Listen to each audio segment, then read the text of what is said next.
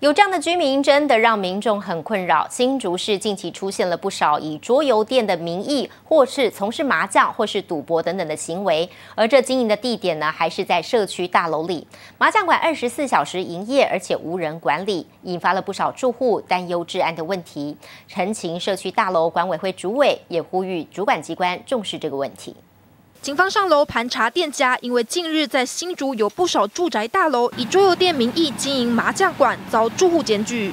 社区骑楼挂上大大布条，上面写着“本大楼不同意地下室设桌游麻将馆，违法经营事件层出不穷”。社区住户不忍了，没有人管你。你今天有人抽个烟头乱丢，起个小火，没有人去把它弄熄，那人就跑掉了。二十四小时。然后无人管理，自由自行进出，管理上也是有很大很大的问题。麻将馆业者实在嚣张，经营地点就位于派出所不远的社区大楼楼下。麻将馆无人管理，大门又是锁着的，附近还有学校，恐怕影响学生。新竹县议员也联合大楼主委，要严格杜绝违法情形。我们希望可以立法来纳管，来好好的把关。好像那个桃园把它设为这个治安疑虑场所，而不是等到已经设立了。好。民众检举才能够来办理。要查证属实，哦，除了依法侦办外，也会将查处情形来函请市政府主管机关来进行采罚。市府表示，若麻将馆经营属实，可依商业登记法废止商业登记。居民则希望市府赶快拿出行动，别让住户连睡个觉也不安心。